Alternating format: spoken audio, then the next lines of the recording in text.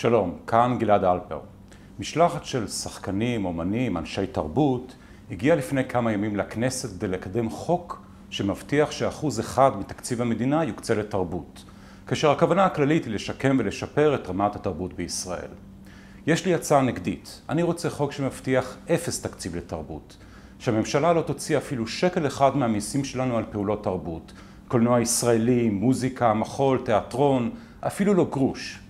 וזה לא בגלל שאני אדם לא תרבותי, להפך, אני חושב שאני אדם מאוד תרבותי, אני פשוט לא חושב שגניבה זה אקט תרבותי. הנה ההגדרה של ויקיפדיה לגניבה. גזל מוכר גם כגניבה, היא לקיחת חפץ מבעליו בכוח הזרוע מבלי לקבל רשות. מה שאנשי התרבות רוצים זה שהממשלה תגזול מאיתנו את כספנו שהרווחנו ביושר ותעביר את הכסף שלנו אליהם, לאנשי התרבות. הכסף יושקע בהפקות, ההפקות צריכות לשלם משכורות, ואנחנו אמורים לממן את המשכורות האלה. וכמובן שהכל נעשה בכוח הזרוע, כי הרי מי שלא משלם מיסים מגיע לכלא, ורשות בטח שאף אחד לא ביקש, בטח לא ממני. מה שאנשי התרבות באמת רוצים, זה להסיר מעל עצמם את עול התחרות החופשית.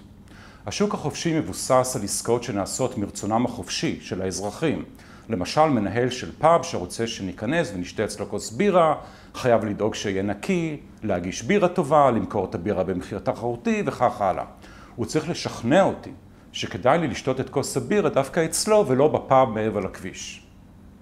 אבל לעמוד בדרישות קהל לקוחות זה כנראה מתחת לכבודם של אנשי התרבות שלנו. להעלות הפקות טובות בשביל למכור מספיק כרטיסים זה כנראה דרישה חצופה מאנשים תרבותיים כל כך. הרבה יותר קל למכור לנו שטויות על זה שהתרבוטיסטים הם לא סתם עוד איזה קבוצת אינטרסים. כי אנחנו, האנשים הפשוטים, פשוט לא מבינים עד כמה תרבות זה דבר חשוב. ואם אנחנו לא מספיק חכמים לקנות כרטיסים מרצוננו החופשי, התרבוטיסטים יעשו את זה בשמנו. ואנחנו בעצם צריכים להיות אסרי תודה, כי אנחנו פשוט לא יודעים מה טוב בשבילנו. עכשיו, למשל אני אנליסט, תפקיד מאוד חשוב לדעתי, כי אני עוזר לנהל את כספי הפנסיה של אזרחי ישראל. מה חשוב יותר, תרבות או היכולת לחיות בכבוד לעת זקנה? אז גם אני רוצה אחוז מהתקציב שיוקדש למשכורות אנליסטים.